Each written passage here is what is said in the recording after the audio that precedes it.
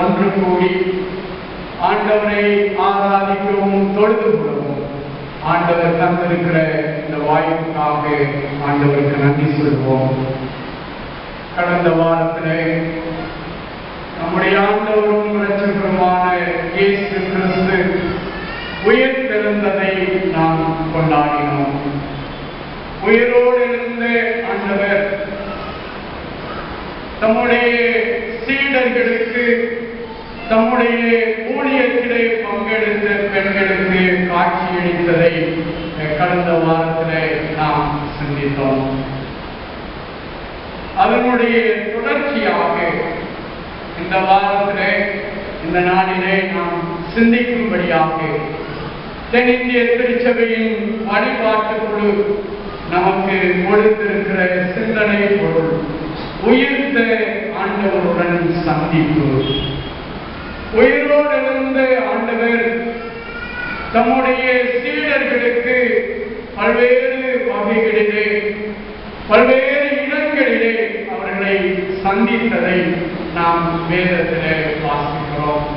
சோர்ந்து போயிருந்த சீடர்கள் நம்பிக்கை இழந்து போயிருந்த சீடர்கள் இனி இந்த உலகத்திலே தங்களுக்கென்று எதுவும் இல்லை என்று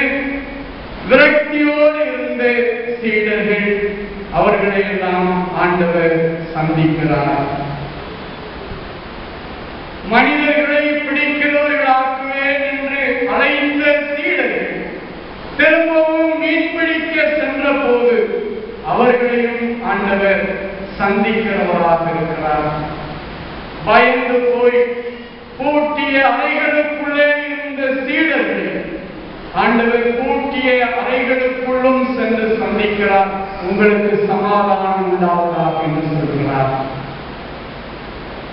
இன்னும் ஒருபடி மேலே போய் அவருடைய காயங்களை பார்த்தாலுடைய அவருடைய விழாவிலே என்னுடைய கைகளை போட்டாலுடைய விசுவாசிக்க மாட்டேன் என்று சொன்னேன் தோமாவையும் ஆண்டவர் சந்திக்கிறார் அவனோடும் ஆண்டவர் இடைப்படுகிறார் இந்த உயர் ஆண்டவருடன் சந்திப்பு என்று சொல்லுகிற போது ஆண்டவர் எவ்விதங்களிலெல்லாம் இந்த சீடர்களை சந்தித்தார்.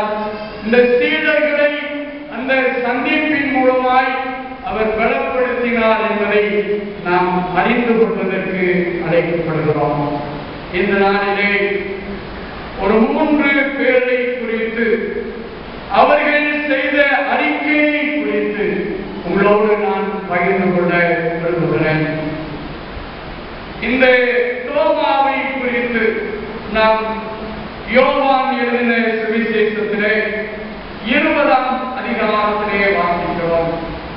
இந்த தோமா எவ்விதமாய் ஆண்டவரை அறிக்கை செய்கிறான் என்கிறதை நாம் யோவான் எழுதின சுவிசேஷம் இருபதாம் அதிகாரத்திலே வாசிக்கிறோம்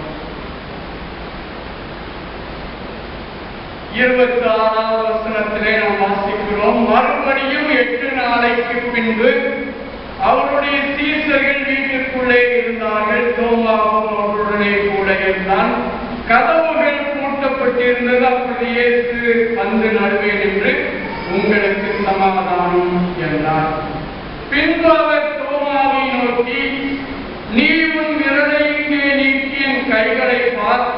உன் கையை நீக்கி விழாவிலே போடு அவிசுவாசியாயிராமல் விசுவாசியாயிரு என்றார்.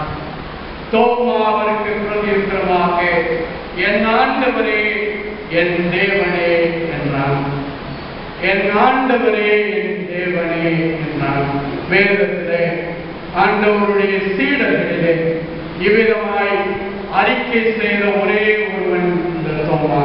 என் ஆண்டவரே என் தேவனே நம்பிக்கையற்றவர். ஆண்டவரை உயிரோடு இருந்தவராக காண்கிற போது என் ஆண்டவரே தேவனே என்று அறிக்கையிடுகிறான் நீர்தான் ஆண்டவர் நீர்தான் என் தேவன் என்று சொல்லி இந்த தோமா ஆண்டவரை குறித்து அறிக்கையிடுகிறார். ஆண்டவர் சொல்லுகிறார் தோமாவே என்னை கண்டதினால் விசுவாசித்தாய். காணாதிருந்து சுவாசிக்கிறவர்கள் பாக்கியவான்கள். ஆனால் இதிலே முக்கியமான செய்தி என்னவென்றால் உயிரோடு எழுந்த ஆண்டவரை தரிசிக்கிறந்த தோமா நேரடியாக காண்கிற தோமா என் ஆண்டவரே தேவனே என்று அறிக்கையிடுகிறார். மனித வாழ்க்கையில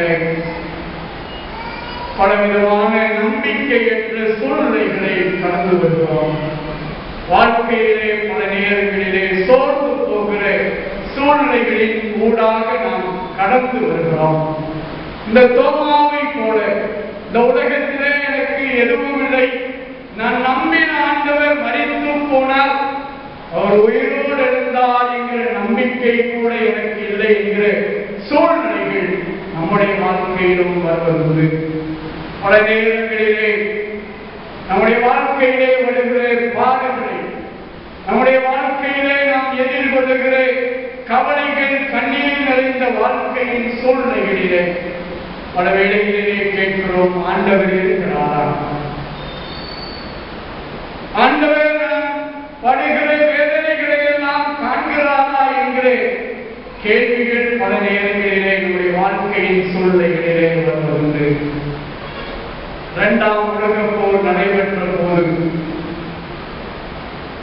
ஜெர்மனி நாட்டிலே யூதர்களை எல்லாம் ஆட்சியாளராக இருந்த ஹிட்லர் அடித்து கொன்று குவித்தான்.